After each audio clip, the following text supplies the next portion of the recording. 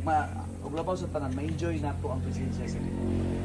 Mo gina and uh, we're so thankful sa inyong uh, presence, inyong uh, na-amaze kami sa inyong kinabuhi and uh, continue doing the God's kingdom o God's culture na buluhaton dali sa ato ang kalibutan because nagpaabot sa ikaduhang pagbalik sa Ginoo.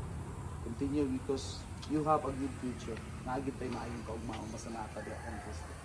Let us uh, pray. Ito ang uh, iwan itong mga kamot and uh, itong usahan ng pag-ampo karon nga adlaw.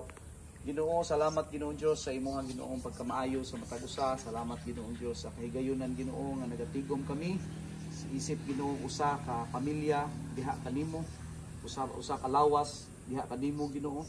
Ang Lord God ini nga adlaw God among pangayoon diha kanimo ang amo nga Ginoong pa, pag, pangayo sa tabang Ginoo ni mo maabot Ginoo nga youth camp Ginoo this coming uh, uh, 17, 18 and 19 Lord i-preparar Ginoo ang amo nga Ginoo nga labaw sa tanan Ginoo ang amo ang panginahanglanon niini Ginoo.